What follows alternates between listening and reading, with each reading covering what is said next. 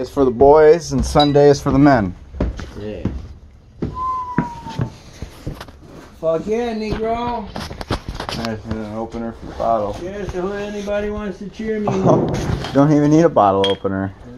Didn't mean to miss you, buddy. That's a twist, bitch. Wasn't intention intentional. He said, he said only, he said I'm only cheersing you because I know you was gonna back me up at the end. So he put his hand on me. No. Well, that's I never, I never came right out and said it, but I basically let him know because he keeps saying, "Well, I don't give a fuck if he's related to you or not. You I'm will when we Ninja Turtle motherfucking your this, that, and that if I want to." And I keep saying, as long as you don't kick his ass or lay a hand on him, you're fine. Yeah. He can motherfuck you all day long. Yeah, nobody can stop And that. And you, Yeah, I don't need protection. So you know, you at the end of the day should just ignore him because it- Right. it's it's Dan. Yeah. You know. I felt like I felt like Raphael from the Ninja Raphael. Turtles yesterday when he said, "I'm gonna beat your fucking ass, boy." I looked over. I said, "Okay." I thought it was funny when he said that to you today, right? He told you he was gonna kick your ass. I don't or know, probably. Not today, yesterday, right? Oh, maybe I don't know. He's ready to kick everyone's ass. I said, yesterday. yeah, all right. I, but I it was him off. today when we were trying to get that black stove up there. Oh yeah, he called he me. a made some kind of too, or comment. He made yeah. some kind of a comment, Yeah, he said something about. but then he dumbass, too. retracted it afterwards. I laid a fucking feather on his I, I, shin. I didn't know if you caught that or not. No, I didn't even catch it, but yeah, I noticed with him. I noticed with him. If He, you, if he you ever kind, watch him, he kind of insinuated kicking your ass, but then in the same I'm just breath, fucking with you.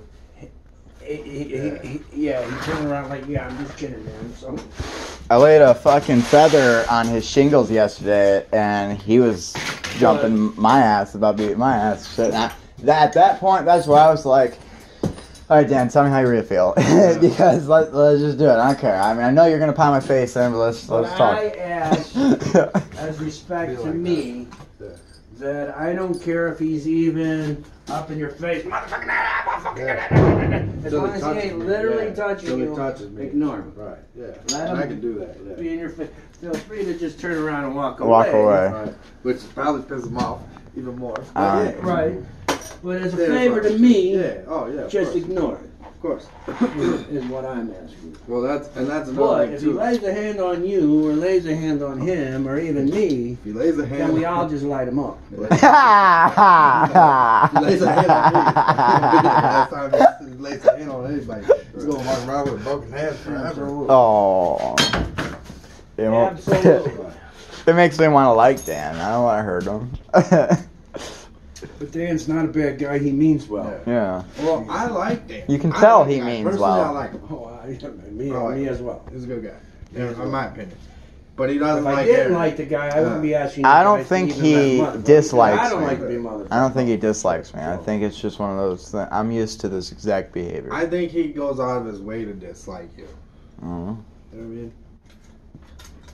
Like, I Yeah, I don't understand. understand. 'cause Yeah. One day he was giving you fucking the biggest- Kudos. And, He called Gary, and even Gary said to me himself, "Oh, Dan said Eric's doing a really good job over there." I He- said, "Yeah." He's just getting control of about then Judd. All of a sudden, now he's fucking psycho. I would have fucking killed Eric guy. He Control. was like, he was like, it was like, don't fuck me over on that dog. I'll beat your ass. That's what he said. Yeah. That's what it was with the dog. Thanks, Dan. Appreciate it. You could come over here and meet him, Dan. He's nice. He might jump on you in a minute, but he's That's what. That's what it was. We were discussing the dog while putting the stove up there. 'Cause he said he put in a good word for you. Look at that fucking beam. It's about done. It's coming apart. Right in the center of the house. It is. Go to Judd.